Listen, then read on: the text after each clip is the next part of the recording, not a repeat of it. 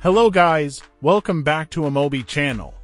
As we all know, when you need to factory reset your iPad, you must enter the screen passcode first.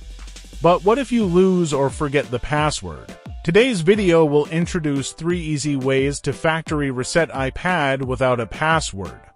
No matter if you forgot or lost iPad screen passcode, your iPad is unavailable or you got the security lockout message. They will all be of great help to you, so let's just start.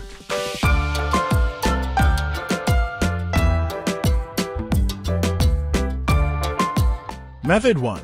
Erase iPad using forgot password. This is a new resetting approach for iPad OS 15.2 or higher when you forget the lock screen passcode or get iPad unavailable security lockout message. But if your iPad OS is above 17, the whole process will take less time. In other words, if your iPad OS is 15 or 16, you need to enter more incorrect screen passwords and wait longer for the erase button to appear. Instead, your iPad needs to be connected to the network and you have signed into Apple ID on your iPad. If your iPad has met these three requirements, let's continue. If not, please pull back the progress bar to see method 3. It will not require these things. Firstly, let's just enter the wrong password for several times, until your iPad shows forgot password on the screen. Click it and you will be asked to enter your Apple ID and password to sign out, then click Erase iPad. Then the erase process will start. Wait a moment.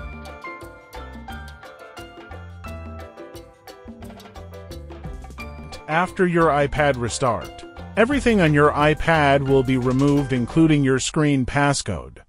All you have to do is set your iPad as a new device.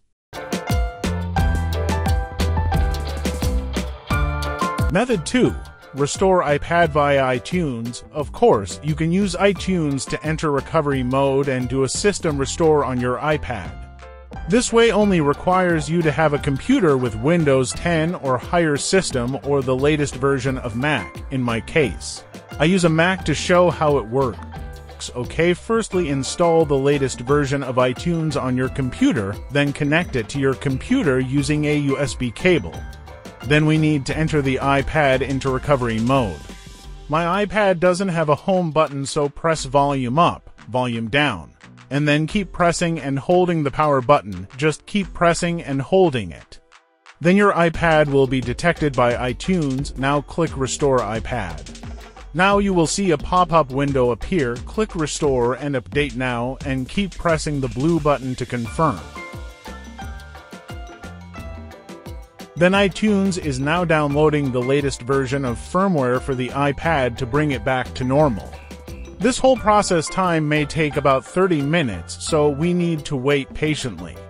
After it is done, your iPad will restart as a new device, as I said above. If your iPad does not have a network connection, the forgot password method cannot be used. Or your iTunes fails to download the firmware. Let's use a professional iOS device unlock tool AnyUnlock to factory reset iPad without a screen password or Apple ID. AnyUnlock can unlock all kinds of iOS screen locks, and it can unlock your device in minutes, allowing you to enjoy your device immediately. Besides, if you have Open Find My on your iPad, it will be locked by iCloud Activation Lock when factory reset. AnyUnlock can also help you remove this activation lock without password. So it's really a useful tool for you to solve iOS locked issues. Just download it with the link in the video description. Okay, let me show you how it works. Firstly, connect your iPad to computer with a USB cable. Also, we need to enter iPad into recovery mode in the same way as method 2. After that, click on lock screen passcode on AnyUnlock. press Start Now to unlock your iPad. Then you will see AnyUnlock prepare the match firmware to your iPad, click Download, and wait for a few minutes. After the download process has been completed, click Unlock Now and your iPad screen passcode will be removed in a while. As you can see, it's very easy and quick. You can access your iPad successfully now. Okay, that's all the three methods for how to factory reset iPad without a password if you think they are helpful. Please kindly leave your thumbs up and subscribe. See you in the next video.